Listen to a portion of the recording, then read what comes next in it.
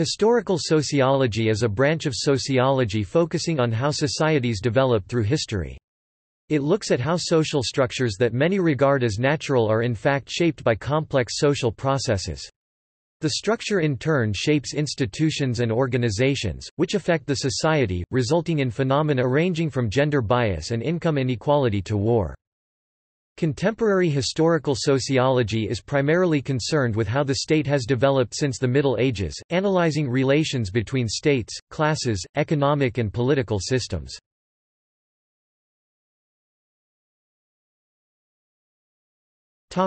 Use of history in sociology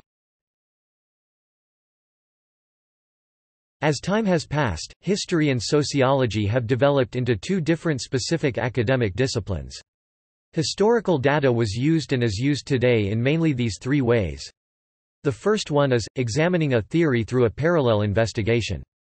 To correspond with the natural science conceptions of laws, and to look at, or apply various historical material where you gather your resources in order to prove the theory that is applied. Or on the other hand sociologists for the parallel investigation theory could apply the theory to certain cases of investigation but in a different modalities of a more widely used process. The second theory that sociologists mainly use, applying and contrasting certain events or policies. Analyzed by their specific, or what makes them in unique quality of a composition, certain events used by the sociologist for comparative data can be contrasted and compared. For interpretive sociologists it is very common for them to use the Verstehen tradition. And lastly, the third way sociologists typically relate is by taking a look at the causalities from a macro point of view. This is Mill's method, a principle of difference, a case with effect and cause present is contrasted with a case with effect and cause absent, and b principle of agreement, cases with same effects are compared in terms of their ideally identical causes. There is an important debate on the usefulness of Mill's method for sociological research, which relates to the fact that historical research is often based on only few cases and that many sociological theories are probabilistic, not deterministic. Today, historical sociology is measured by a conjunction of questions that are rich in detail.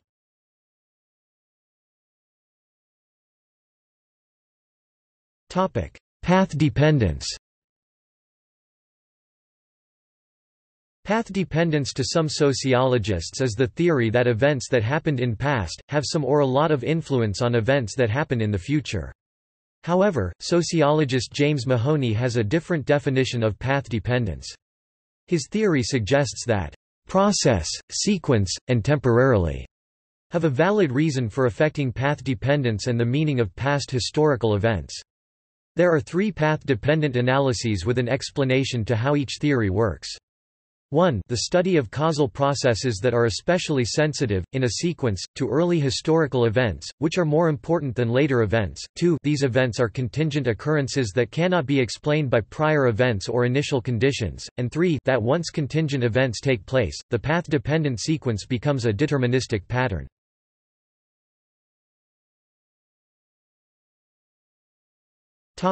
Debate over general theory in sociology James Mahoney revisited the debate over general theory in historical sociology. By bridging the gaps of different assumptions, causal agents and causal mechanisms are connected to the empirical analysis, and this is seen as the general theory.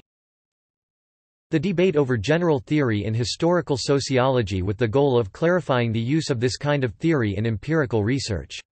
General theories are defined as postulates about causal agents and causal mechanisms that are linked to empirical analysis through bridging assumptions. These theories can contribute to substantive knowledge by helping analysts derive new hypotheses, integrate existing findings, and explain historical outcomes. To illustrate these applications, the article considers five different general theories that have guided or could guide historical sociology, functionalist, rational choice, power, neo-Darwinian, and cultural theories.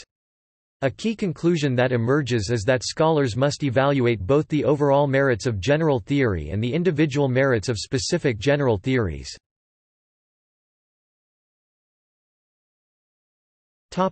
Notable authors Giovanni Arrighi Randall Collins Emile Durkheim Norbert Elias Michel Foucault John A. Hall Michael Mann Karl Marx Karl Polanyi Theda Skocpol Charles Tilly Immanuel Wallerstein Max Weber Reinhard Bendix Richard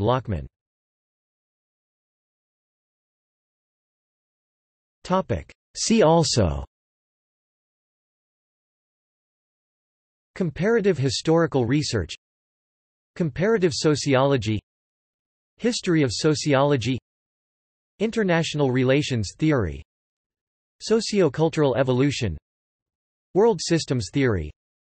Economic sociology. Cliodynamics